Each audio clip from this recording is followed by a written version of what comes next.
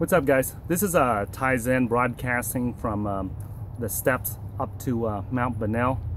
and it's a long series of steps here that you got to climb up to get to the top of uh, Mount Bunnell here in uh, Austin, Texas. And I want to just pause um, for a moment here guys to share with you guys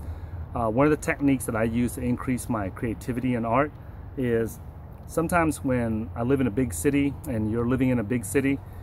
there can be a lot of things that get in the way, the crowd, the noise, and all the hustle and bustle of the big city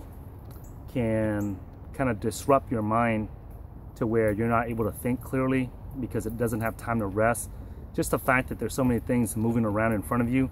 Like, uh, for example, if you go uh, see the videos where I'm walking through Times Square in New York City, I mean, there's like a million people walking around and it's really hard for your mind to stay focused and to stay calm one of the things I invite you guys to consider is going out into places such as this, you know, in Mount Bunnell, where you can have a lot of time to yourself. There's not the hustle and bustle of the streets, the, the traffic lights, the cars, the noise and all that, because you're way up in the, you know, uh, mountains here.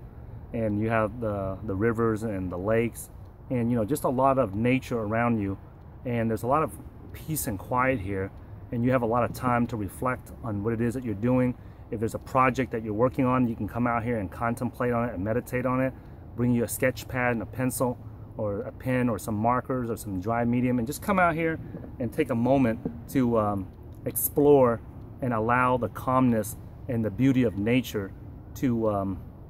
to uh, to provide you the creative juices and the creative energy okay um, that's one of the things I would recommend you do try it and usually come out and spend like an hour or two. Might bring a snack and plenty of water with you guys so that you guys have uh, you don't get dehydrated okay? Because it can be pretty um,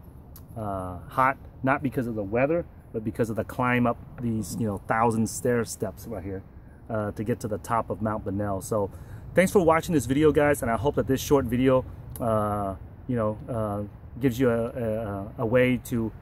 inspire you to give you more creativity in your artwork. And um, I want to say thanks for watching this video guys. And if you guys like this these type of videos that helps you increase your creativity and your artwork give me a thumbs up so I'll know to continue making them. And if you don't like them give me a thumbs down so I'll know not to waste time to make them. And uh, you know be sure to subscribe to my channel visit the my site and I'll look forward to seeing you guys in a future video. Thanks for watching this video guys